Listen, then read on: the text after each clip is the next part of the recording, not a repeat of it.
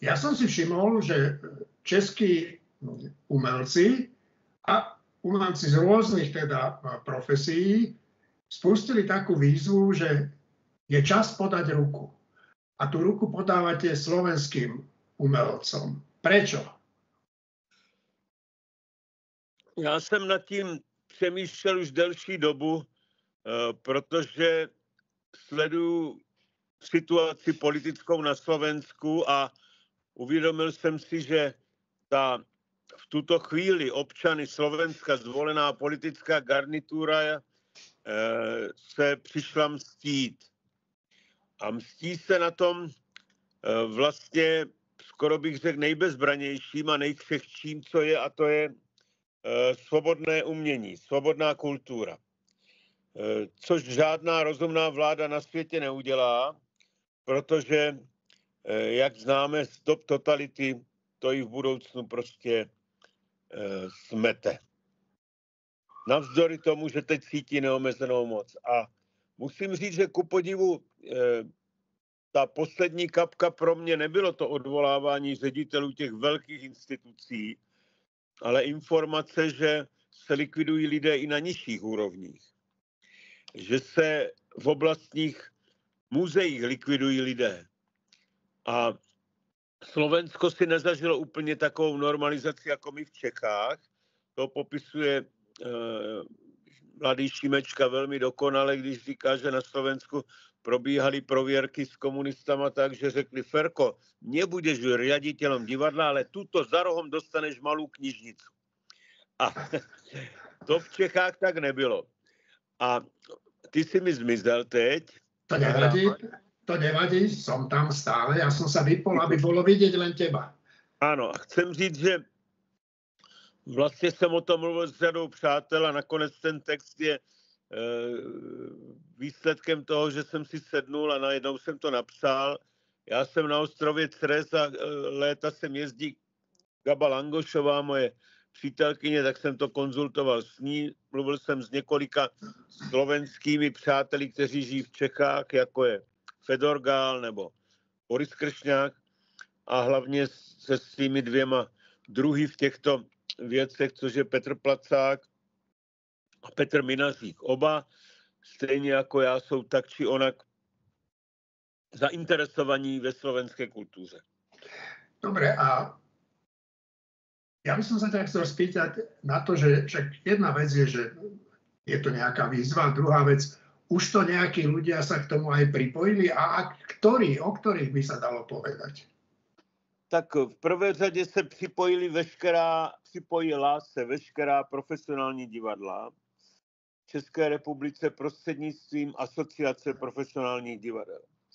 Připojují se samozřejmě osobnosti počínaje například Jiřím Suchým, legendami jako Jiří Suchý, Zdeněk Svěrák, Jiří Suchý mimochodem vzkazuje vaší vládě, že máme rok 2024 a ne 1950.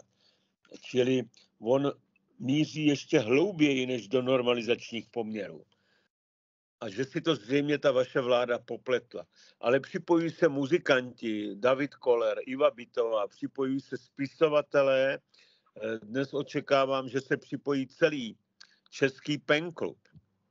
A to je obrovská síla. Připojují se jednotlivci, připojují se významné eh, postavy toho veřejného života, jako je třeba eh, bývalá ombudsmanka, dizidentka Anna Šabatová nebo Eliška Wagnerová, místo předsedkyně ústavního soudu, jejíž muž Arnoš Wagner, slovenský rodák a novinář, před dvěma lety zemřel a taky cítí jakousi řekněme, obavu o vývoj na Slovensku. Ale ta obava už dneska je prostě zřejmá, tu nesítíme jenom my, jako jednotliví lidé, jako Češi, tu cítí podle mě více lidí v Evropě. Já jenom teď musím přerušit, protože kamarád Karel. Karle, ahoj, pozdrav Eugena. Ahoj. A ukaž, co Ahoj. Já jsem meloun. A já mám... je vevnitř, dej meloun, dej meloun tam. To je Karel. Nese meloun, Petě. A teto volá, jak má Karel volno, přinese meloun a já mu zase radím v chytání ryb. My máme takové vztahy. Dobré, tak Karličku si hodný, já tady dokončím rozhovor, jo? Pozdravuj doma. Uh, chci říct, že těch men přibývá vzhledem k tomu, že jsem to napsal teprve včera a rozeslal a ještě jsem tady měl problémy s internetem, tak jsem hluboce jakoby dojatý tím zájmem a nabízí se už přímo i konkrétní místa pro, pro lidi, kdyby potřebovali. Přemýšlí se o konkrétních projektech se Slovenskou republikou nebo s umělci ze Slovenska. Čiže to nie je len tak, že uh, nám je ľúto, čo vám tam robia, ale niektorým z vám budeme môcť aj pomôcť.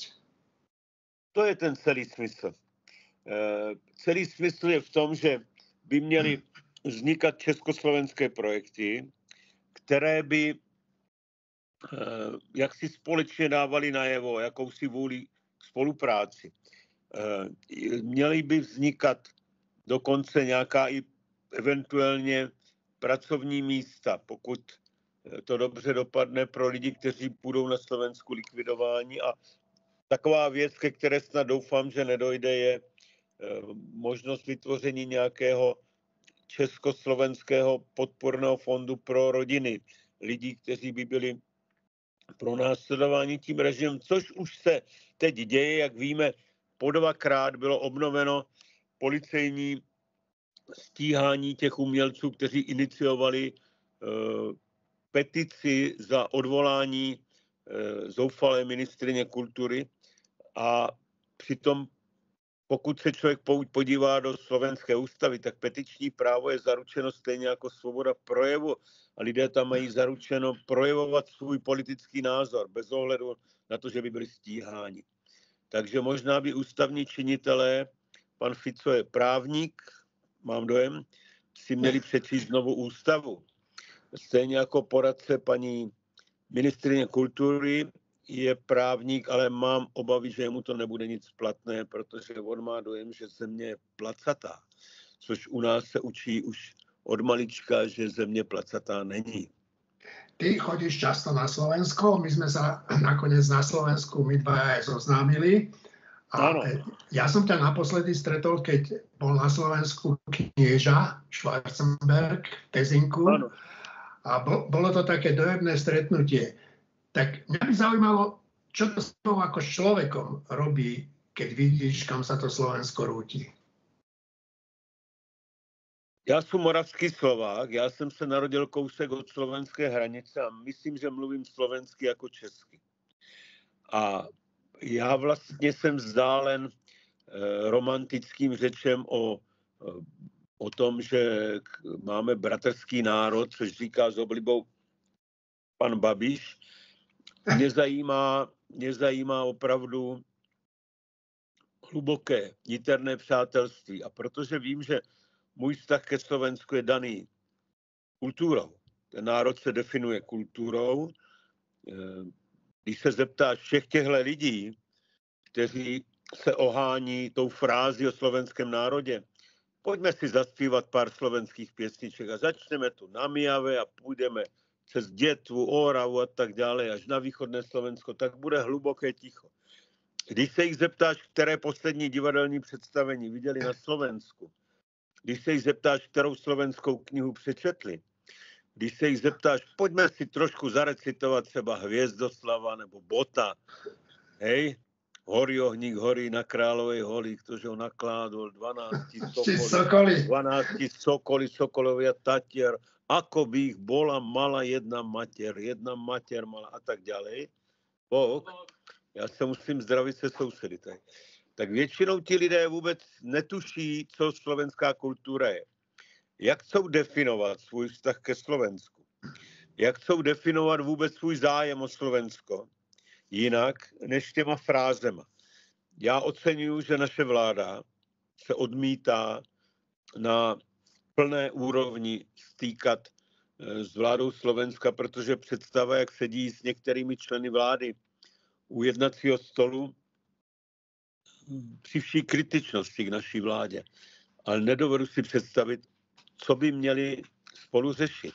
Jakým způsobem by se mohli bavit třeba o vztahu k Rusku, eh, který pro mnohé z nás je klíčový vztah Ukrajině a vím, jak se definuje ta slovenská vláda. Takže já prostě to vnímám bolestně, co se na Slovensku děje, ale vždycky si uvědomuji, že člověk musí slovy Ludvíka Vaculíka obrátit optiku. Nesmí tu optiku obrátit jenom do hněvu, ale má vybídnout k nějakému činu. A mám takový dojem, že bude úplně nejlepší, když ty společné československé projekty kulturní se budou odehrávat na Slovensku. Pak bude zajímavé, kdo je bude zakazovat, kdo koho bude vyhazovat. Dobre, tak děkujeme za ty činy. Já děkuji za ten rozhovor, který sám o sobě byl partizánský, protože už ho podnikáme od rána. Vzhledem k mému posazení zde na ostrově Cres, tak ještě vám to tady ukážu. Tam je tunel. My máme tunel, my jsme spolumajitele už tohohle tunelu. Ale jak vidíš, na konci tunelu je světlo a ten tunel je tady, to je tvrz 15. století, je tady nainstalovaný, protože dělá průvan. Tak doufejme, že ta naše pomoc Slovákům, ta podaná ruka udělá pěkný průvan na Slovensku. Takže šable hore a do nich.